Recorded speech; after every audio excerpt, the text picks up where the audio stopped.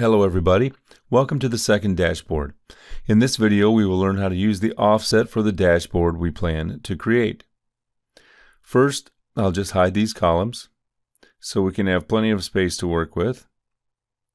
And I'll be implementing it on these particular cells. So now it's adjacent, so it's easy to work with. So open this particular formula using the shortcut F2. First and foremost, offset will not work inside indirect. So it will be outside. So I'll start with offset. The offset uh, from where should I start? So it should be from the sheet that has been selected by the user from the cell not H, rather H1. And that means I'll be starting from H1, the selection. That is the sheet name 2016. From there, the H column, which contains the country. Now, once I'm there, then the second question is how many rows should I move down? So I do not have to move down. So I'll say zero.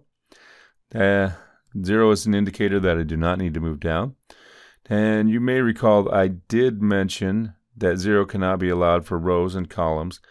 That is uh, the height and width of the rows and columns.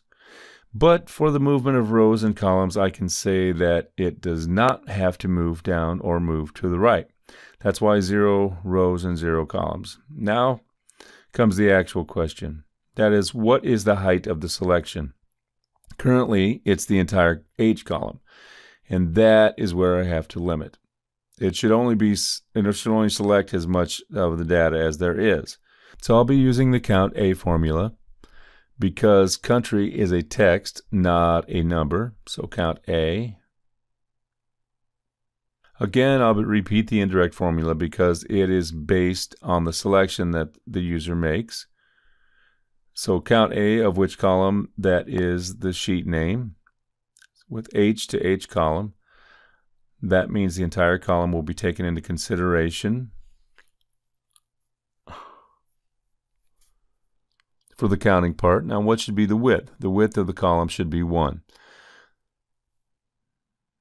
Mm, that means at least one column has to be selected. Bracket closed.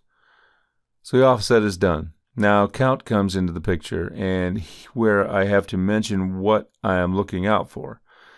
So I'm looking for how many times India as a country is getting repeated. So I'll just freeze the A column So I'll close the bracket, enter, and so there it is. So now when I drag it down, I get the same response.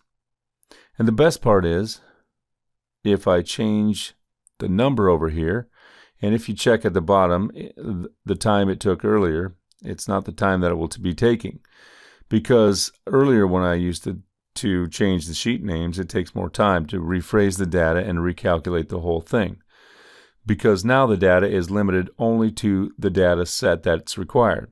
I unhide and now the data is ready. So as we have seen that earlier, I have used these short namings using the name manager to get my work done faster. So I'll do the same for my count as well because as you can see offset is quite large. Now in the next video we'll learn how to use maxif and minif. See you in the next video. Keep practicing. See you.